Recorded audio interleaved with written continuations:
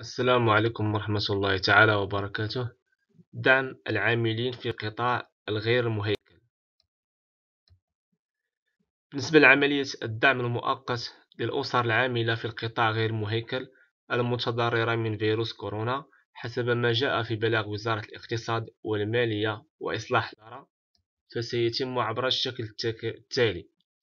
فلجنة اليقظة ركزت في, اجتماع في اجتماعها ليوم الاثنين الثالث والعشرون من مارس 2020 على تدابير دعم القطاع غير المهيكل المتأثر مباشرة بالحجر الصحي.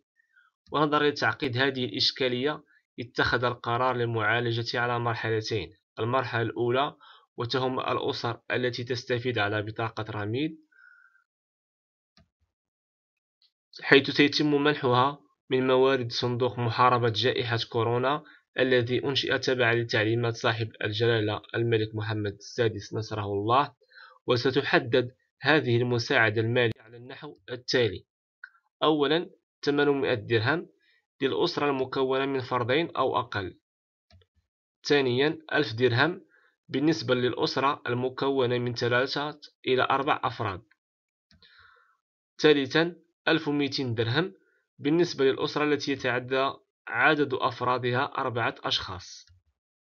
يعني خمسة ستة المهم أكثر من أربعة. بالنسبة للعملية فتتم عبر إرسال رسالة قصيرة إلى 12 12 12 تتضمن آه، رقم بطاقة رميد لرب الأسرة. ابتداء من يوم الاثنين 30 مارس.